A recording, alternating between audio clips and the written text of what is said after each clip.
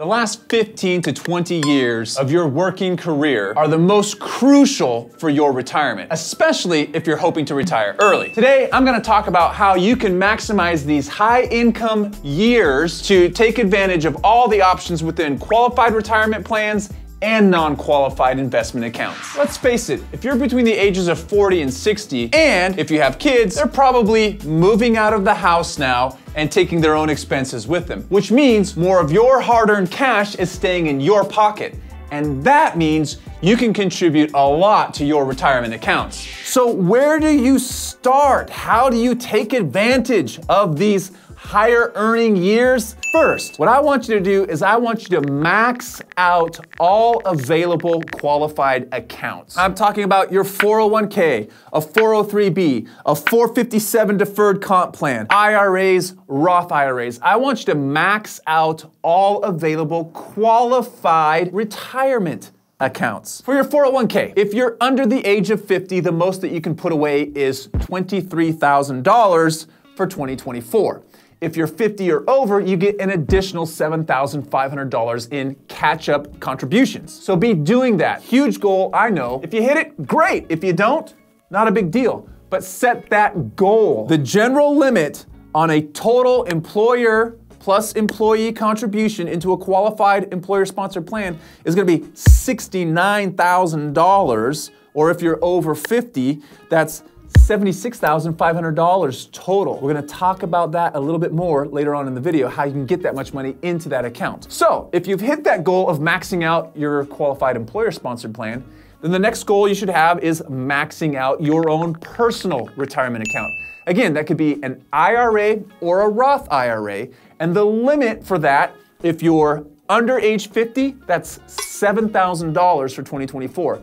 If you're over age 50, your contribution limit is $8,000. You might make too much money to qualify for contributing to a Roth IRA. That's okay. Then contribute to a traditional IRA and get the tax break up front. Maybe you make too much money to contribute to an IRA and get the tax deduction. If that's your situation, you can take advantage of doing what's called a backdoor Roth. You make too much money to get the deduction into the IRA. No big deal. Let's just say you're 50 years old. So you put $8,000 into your IRA as a non deductible contribution. And then the very next day, you call that custodian and say, hey, I want to immediately convert that full amount to a Roth IRA. They do that and boom, now that cash starts growing. You gotta invest it after that, but then you get it invested, it starts growing, and all of that growth is gonna be tax free later on when you touch it in retirement. Now, the power of Roth, if you have that Roth 401k option, Roth 403b option, or just the Roth IRA option,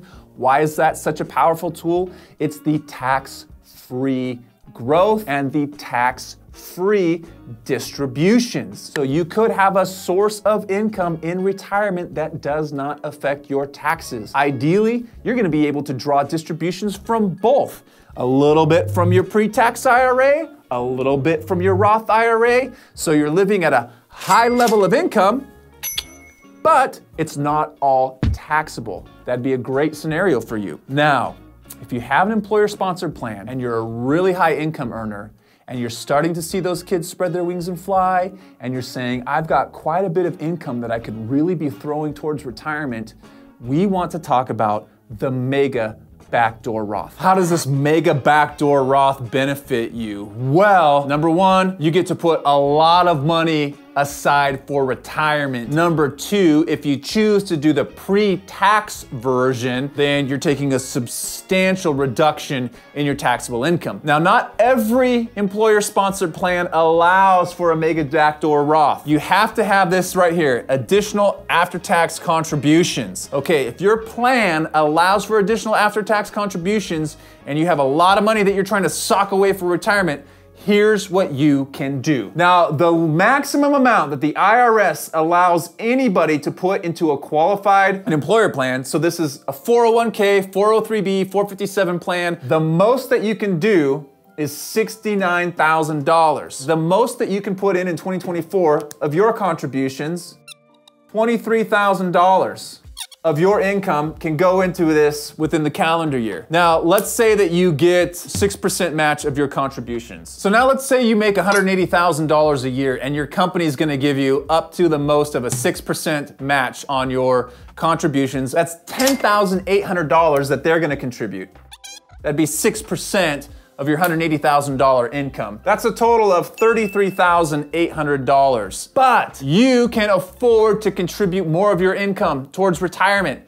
And your plan allows for additional after tax contributions. So, how much can you continue to defer after taxes have already been taken out and it's set aside for retirement? Well, $69,000 minus your $23,000 contribution minus your employer's $10,800 contribution leaves you with room for $35,200 of your additional after tax income could go into this column of your retirement account. And in a perfect scenario, your plan also allows for instant Roth conversion so that this account, this amount goes in, it gets converted to Roth, and then all of the growth on this amount is also tax-free. If your plan doesn't allow for instant Roth conversions, your principal amount remains tax-free because it's additional after tax, but then any growth on that amount would be taxable as income. So ideally, you've got the three columns in your employer-sponsored plan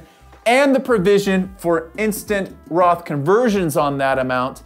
And now, boom, all of this is growing for you tax free. What do these numbers look like if you're over 50 and you max it out? Well, if you're over 50, here's your numbers. You max this out at $30,500 this year, and you still get your $10,800 match from your employer in this year. That's 6% of $180,000 income. What does that leave you with room to contribute over here? You've got room for an additional $27,700 to go into this additional after tax contribution column. Now, let's say you're doing that, but you're thinking, I'm building up all of this retirement fund, but it's gonna be stuck inside my employer sponsored plan. And I can't get to that money until I'm 59 and a half. So, how am I going to use that to retire early? Maybe your plan allows for substantially equal periodic payments. IRS Rule 72T. What that just means is there's three different calculation methods that the IRS uses, but you pick one of those that suits your scenario best, and as long as you're willing to take five distributions over the course of five years, you can access the funds as long as it stays within the plan. Rule 72T is a way for you to get money out of that plan You'll still be paying income tax if it's all in the pre tax portion. If it was all Roth contributions, then you're not paying income tax on that. But it's a way to access funds out of your employer plan prior to 59 and a half without paying the 10% penalty. So it's something to consider. If you've been building up a huge retirement nest egg inside of your employer sponsored plan and you're thinking, do I wanna wait until 59 and a half? You might not have to look into Rule 72T inside of your plan. So we've covered your qualified plans, but let's say you're maxing all of those qualified accounts and you still have more money that you want to invest for retirement. What do you do? You start investing in a non qualified account.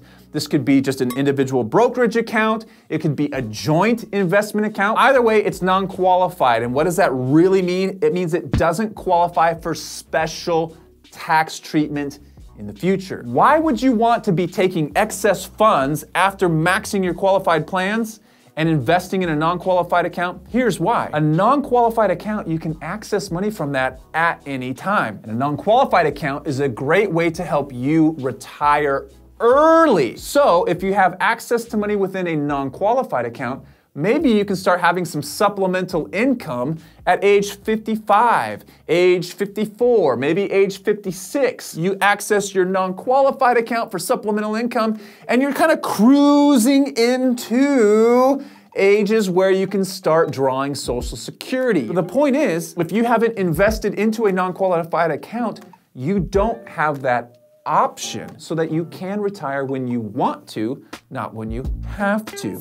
If you like this video, be sure to like and subscribe. Click the little notification icon so that you get updated every time we upload new videos. If you have questions for us, go to our website, therealmoneypros.com. Click on the Ask the Experts feature, and we'll get an answer to you as soon as we can. Thanks for watching today. We'll catch you again next time.